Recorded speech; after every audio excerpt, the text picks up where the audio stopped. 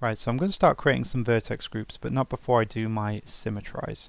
So I'm going to go back to edit mode like this, and I'm going to just shift select the bones that I want to copy over.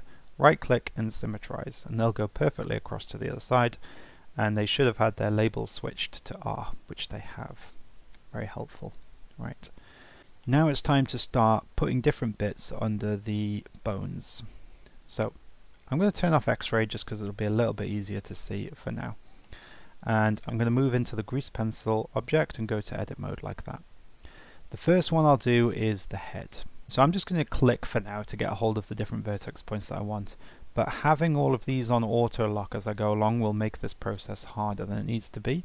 So I'm just going to come here and turn that off, auto lock inactive and make sure everything is unlocked. Now I'll select the head and I've got the outline of the vertex points. What else might go under head?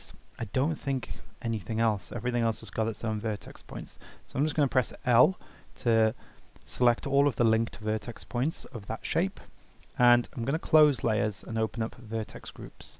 Here I'm going to add a vertex group and I'm going to call it head which is the name of the bone that I have here and with these selected in edit mode I'm going to press assign. There we go. Now I'm going to come out of edit mode and into object mode and select the armature. I'm going to hold control and press tab and give this bone a click and move it around. Nothing's happening.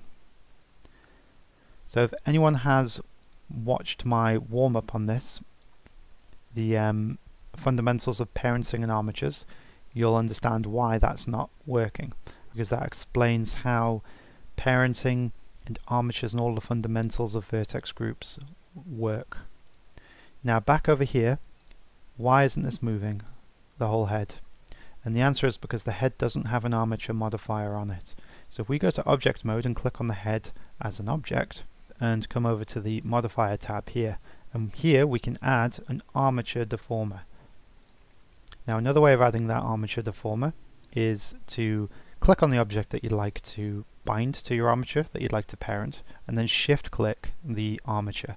Then it's control P and it'll say would you like to add an armature deform and if you click that then you'll find when you go back to your modifier menu that an armature modifier has been added for you and the object has actually been selected too. So just to run back over that a second time if you add the modifier like this you then need to select the object that is the armature like that. Now when I go into pose mode and move this head around you'll see that the head follows like that.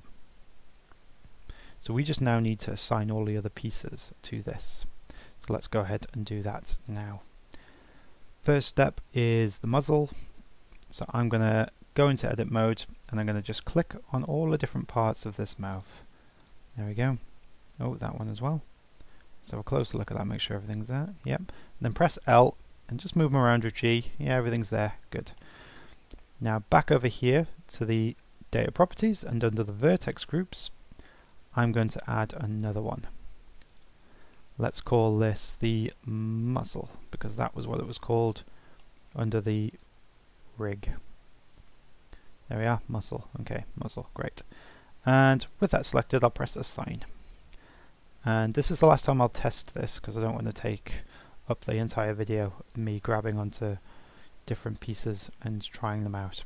If for any reason you're struggling to see that particular muzzle bone because it's hidden underneath, uh, just flick onto the wireframe mode like that and you'll be able to see through. So I can see it there. If I move it around, you can see I'm successfully moving my um, mouth around. Notice that my bottom part of my um, tiger ears are also following it. Let's have a look at that. Yeah. So the reason that's happened is because these vertex points appear to have been caught up in the assigning process. So that's a good opportunity to show you how to take things back out again. So if I go to edit mode and just shift click on these two objects here, press L to get all of the linked vertex points, I can come over here to muzzle in this case and I can click remove. That will take all of these points out of that vertex group which then means that when I'm back here in pose mode I can grab onto the muzzle which is actually under there but we'll just take it as a parent move it around and you can see that's now being left behind I'll just um, clarify that by grabbing the muzzle itself. There we go. Right. So I'm going to go through step by step now and just add the right pieces into the right places. So we'll start here and I'm just going to do these quickly rather than going back and forth, back and forth. So I know that this goes under the pupil dot L assign. I know that these go under the pupil dot R assign. Uh, I know that these will go under the I know that these ears will go under the ears so I'll just get all of those go over here type in ear dot. I'll just do ear dot L for now. Well no I won't. I'll so eye'll add I'll add ear dot L and I'll assign all of these points to that. And then I'll come down here and add ear.l.001 so that I have this extra piece as well but I won't assign anything to it. I'll just have it there in the groups.